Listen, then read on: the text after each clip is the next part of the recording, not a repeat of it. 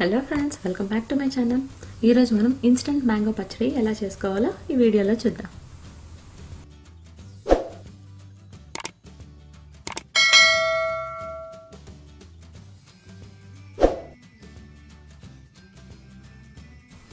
ముందుగా ఇట్లా పచ్చి మామిడికాయను కూడా తీసుకొని దాన్ని నీట్గా వాష్ చేసుకోవాలి. వాష్ చేసిన తర్వాత దాని తడి ఏవి లేకుండా బాగా దీన్ని డ్రై చేసుకోవాలన్నమాట. సో డ్రై చేసుకున్న దాన్ని మనం ఇట్లా పైన కట్ చేసుకుందాము. ఇది ఇన్స్టెంట్ పికిల్ కాబట్టి మనం ఏం చేస్తున్నామంటే దీన్ని బాగా చిన్న చిన్న ముక్కలుగా కట్ చేసుకుంటున్నాం అనమాట సో చిన్న చిన్న ముక్కలు కట్ చేసుకోవడం వల్ల ఏమవుతుందంటే మనం యాడ్ చేసే మసాలా అంతా కూడా ప్రతి ముక్కలోనూ తొందరగా వెళ్తుంది కాబట్టి మనము ఈజీగా నెక్స్ట్ డేనే ఇది యూజ్ చేసుకోవచ్చు అనమాట సో ఫస్ట్ టైం చేసుకునే వాళ్ళు కూడా దీన్ని ఈజీగా తయారు చేసుకోవచ్చు. ఇది చాలా ఈజీ ప్రాసెస్ ఇది. చూడండి ఈ వీడియోలో చూపించిన విధంగా మనము ఇట్లా చిన్న చిన్నగా కట్ చేసుకోవాలన్నమాట. సో అన్నీ దీన్ని ఇట్లా కట్ చేసుకుందాము.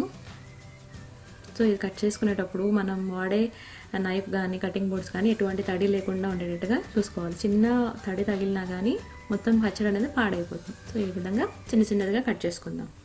దీన్ని గ్లాస్ బౌల్లో దీన్ని ట్రాన్స్ఫర్ చేసుకుందాము.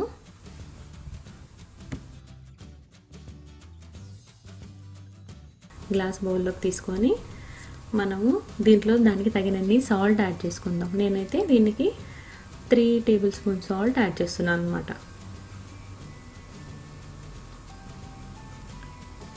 Three tablespoon salt add చేసుకొని దీన్ని స్పూన్తోనే మనం మిక్స్ చేసుకుందాం.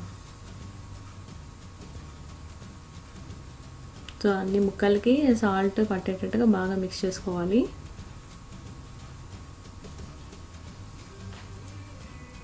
సో ఇట్లా బాగా మిక్స్ చేసుకున్న తర్వాత దీన్ని మనము హాఫ్ అన్ అవర్ నుండి టూ అవర్స్ దాకా సోక్ చేసుకోవచ్చు. సో నేనైతే ప్రస్తుతానికి దీన్ని టూ అవర్స్ సోక్ చేస్తున్నాను. ఇట్లా సోక్ చేసుకోవడం వల్ల ఏమవుతుందంటే ప్రతి ఒక్క ముక్కలోన సాల్ట్ మంచిగా లోపలికి వెళ్తుంది. సో ఇట్లా పైన లిడ్ పెట్టుకొని దీన్ని టూ అవర్స్ సోక్ చేసుకుందాం. తర్వాత ఒక ప్యాన్ పెట్టుకొని స్టవ్ మీద అందులో టూ టేబుల్ స్పూన్ మెంతులు యాడ్ చేసుకుంటున్నాను అనమాట సో ఇది డ్రై రోస్ట్ చేసుకోవాలి. సో అందుకని మనం ఇది సిమ్లో పెట్టుకొని దీన్ని రోస్ట్ చేసుకుంటున్నాము. కొంచెం కలర్ చేంజ్ అయ్యేంత వరకు దీన్ని రోస్ట్ చేసుకోవాలి. బాగా సిమ్లోనే పెట్టుకొని రోస్ట్ చేసుకోవాలి. ఇది చాలా మెయిన్ ఇంగ్రీడియంట్ ఇది ఆ పికిల్లో మెంతులు అండ్ ఇంగువ యాడ్ చేస్తున్నాం అనమాట ఇందులో. సో ఫస్ట్ మెంతుల్ని మనము ఇట్లా ఫ్రై చేసుకొని కలర్ చేంజ్ అయిన దాకా ఫ్రై చేసుకోవాలి. చూడండి నేను చూపించిన విధంగా ఇట్లా ఫ్రై చేసుకొని కలర్ కలర్ చేంజ్ అయింది కదా ఇప్పుడు. ఇప్పుడు స్టవ్ ఆఫ్ చేసుకుంది చల్లార్చుకుందాము. ఇట్లా చల్లారిన తర్వాత ఇట్లా మిక్సీ జార్లో వేసుకొని దీన్ని పొడి చేసుకుందాం. సో ఫైన్ పౌడర్ చేసుకోవాలి దాన్ని. ఇట్లా ఫైన్ పౌడర్ చేసుకున్న దాన్ని పక్కకు పెట్టుకుందాం ఇప్పుడు.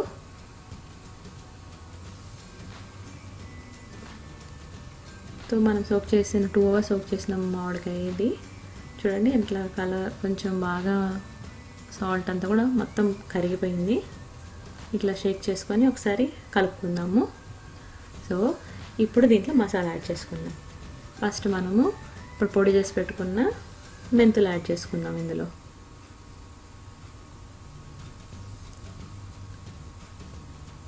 సో ఎటువంటి వాటర్ డ్రాప్స్ ఏమీ లేకుండా ఉండేటట్టుగా చూసుకోండి. చిన్న తడి తగిలినా కానీ పచ్చడి అనేది పాడైపోతుంది. సో ఎప్పుడైనా పికిల్స్లో కానీ మనము యూజ్ చేసుకునేటప్పుడు తడి లేని స్పూన్స్ కానీ స్టోర్ చేసుకునే గిన్నెలు కానీ తడి లేకుండా ఉంటేనే బెటర్ అనమాట దాంట్లోనే ఇంగు వన్ టేబుల్ స్పూన్ ఇంగు యాడ్ చేసుకున్నాను. సో దాన్ని యాడ్ చేసుకొని పైన ఇట్లా జస్ట్ స్ప్రెడ్ చేసుకుందాము. ఇప్పుడు ఒక ప్యాన్ పెట్టుకొని అందులో ఫోర్ టేబుల్ స్పూన్ నువ్వుల నూనె యాడ్ చేసుకున్నాను. లైట్గా హీట్ ఎక్కగానే మనం వన్ టేబుల్ స్పూన్ ఆవాలు యాడ్ చేసుకోవాలి. ఆవాల్ని మనము లో ఫ్లేమ్లోనే బాగా కుక్ చేసుకోవాలి. ఎందుకంటే దాని ఫ్లేవర్ అంతా ఆయిల్లో వచ్చేంత వరకు బాగా కుక్ చేసుకోవాలన్నమాట. చూడండి నేను చూపించిన విధంగా ఇట్లా బబుల్స్ వస్తుంది కదా అది ఆవాలు అనేది వేగడం సౌండ్ ఆగిపోగానే మనం స్టవ్ ఆఫ్ చేసుకోవాలన్నమాట. స్టవ్ ఆఫ్ చేసుకొని అందులోనే మనము three tablespoon chilli powder add చేసుకుంటున్నాం. ఇది స్టవ్ ఆఫ్ చేసుకున్న తర్వాతనే యాడ్ చేసుకోవాలి. యాడ్ చేసుకొని బాగా కలుపుకోవాలన్నమాట అందులో. ఆయిల్లోనే బాగా కలుపుకోవాలి.